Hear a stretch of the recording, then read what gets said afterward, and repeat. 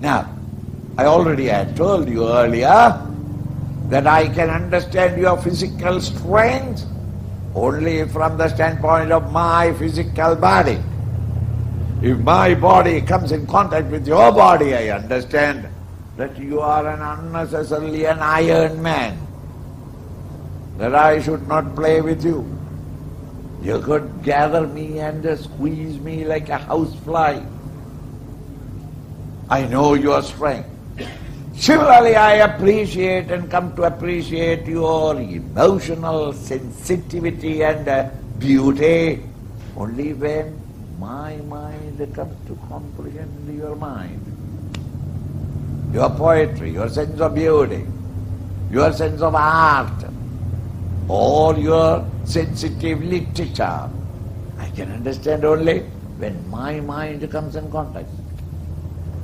Similarly, I can understand your genius or your intellectual accomplishment only when my intellect comes in contact with your intellect. Similarly, this Atman, the self, the spiritual center in you, can be contacted only from the balcony of my spiritual nature.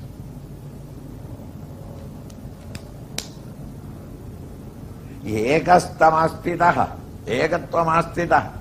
When I have transcended the BMI to the extent I know that state, to that extent I can recognize its play everywhere. From the dream state alone, the dream world can be experienced.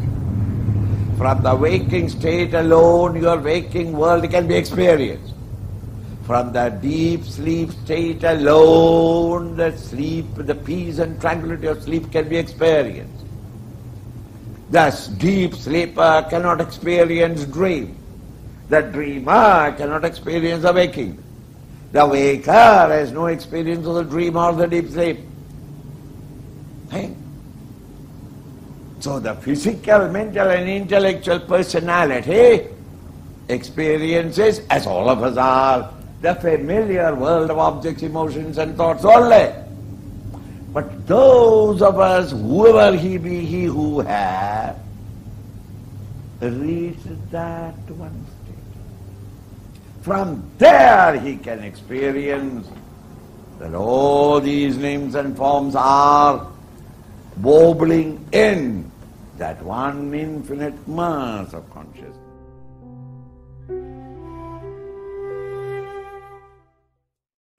Who is the noblest of among those who have reached the highest.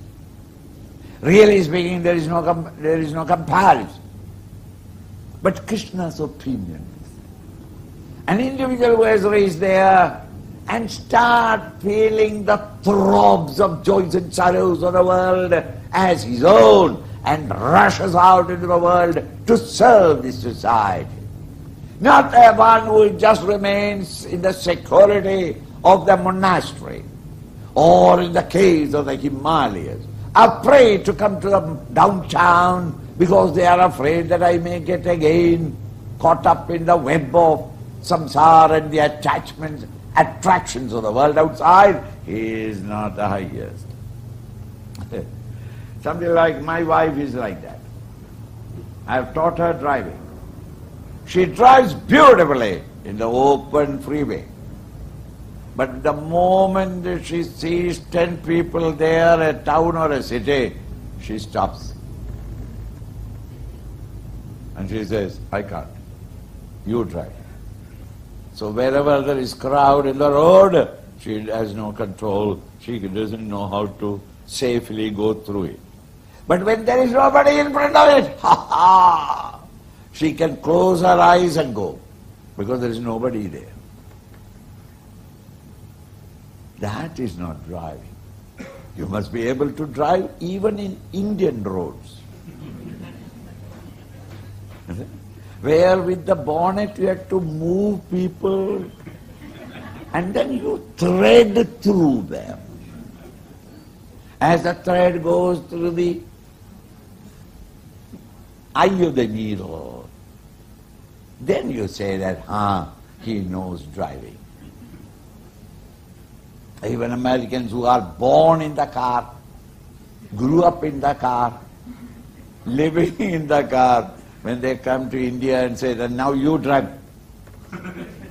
Ask me anything else but not driving in India. Why? Because we don't know what will happen on the road anywhere. Not in the next turn, anywhere.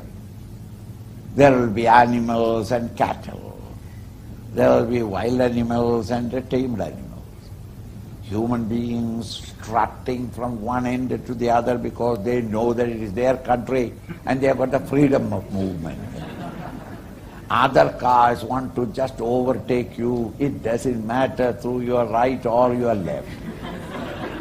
There are bullock cars there. There are ayya, all kinds of vehicles from the 12th century onward are all maintained there. And the roads are made in the 17th century. So they are narrow. There you are. Drive. You can't. Because you don't know how to. You have not mastered the driving. Only a taxi driver of Calcutta is the greatest driver in the world. He doesn't need space. Now, therefore, the man of realization, highest is only those who having realized it and started feeling that the whole world is his own body, total identification with the joys and sorrows of everyone, who comes into the world to serve the world. I consider them as the noblest of all Mahatmas or all great men of realizing.